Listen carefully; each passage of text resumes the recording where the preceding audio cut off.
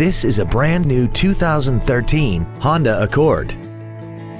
This four-door sedan has a continuously variable transmission and an inline four-cylinder engine.